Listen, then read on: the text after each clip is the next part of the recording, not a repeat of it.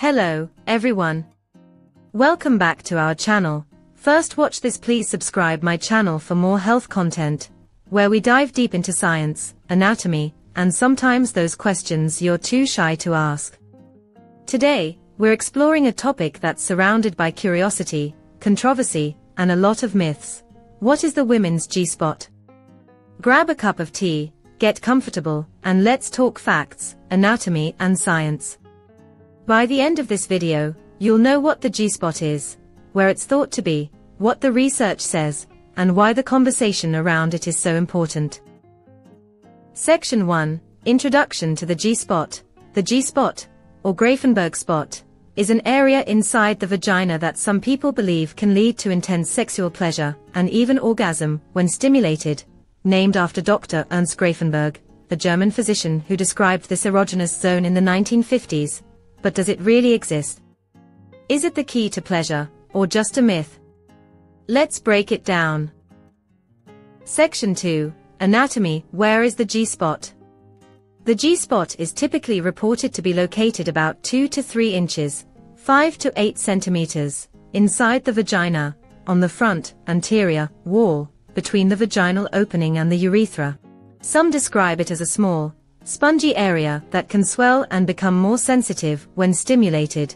Section 3. What happens when the G-spot is stimulated? Stimulation can lead to a sensation described as different from clitoral stimulation, often deeper, more internal, and sometimes resulting in powerful orgasms, or even female ejaculation. Not everyone experiences pleasure from G-spot stimulation, and the intensity can vary widely from person to person, some women report intense orgasms, while others feel little or nothing at all. Section 4. The science, does the G-spot exist? The existence of the G-spot is still debated among scientists and doctors.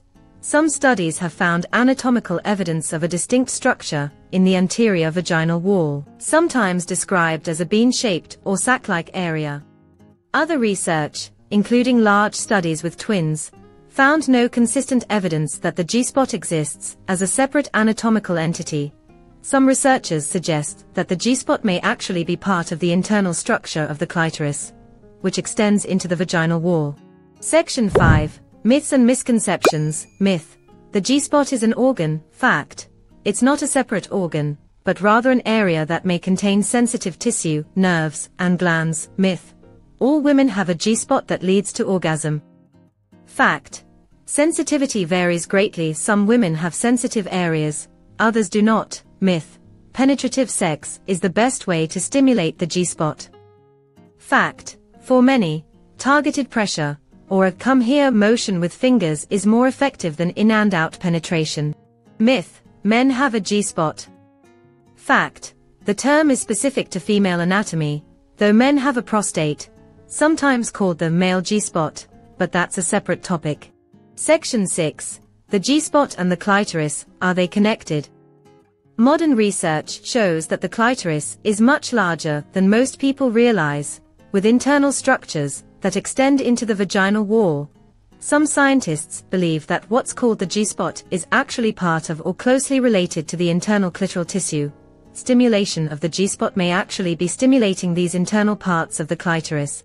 Section 7. The controversy Why is there debate? Some experts argue the G-spot is a myth, citing lack of consistent anatomical evidence and variation in sensitivity among women. Others say that focusing too much on the G-spot can make women feel inadequate if they don't experience pleasure from that area. The most important takeaway. Everyone's body is different, and there's no right way to experience pleasure. Section 8.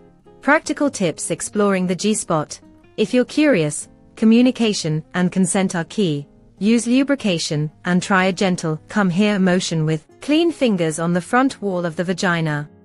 Listen to your body and your partner. What feels good for one person may not for another. There's no pressure to find or enjoy G-spot stimulation. Pleasure is personal and unique. Section 9. Final thoughts embracing sexual diversity. The G-spot is a fascinating part of sexual anatomy, whether it's a distinct structure or part of the clitoris. It's clear that female pleasure is complex and diverse. Don't get caught up in myths or pressure to experience pleasure a certain way. Celebrate your body, communicate with your partner, and remember, there's no one size fits all when it comes to sexuality. Thanks for watching. If you found this video helpful, give it a thumbs up, subscribe, and let us know your questions in the comments. Remember, knowledge is empowering and pleasure is personal.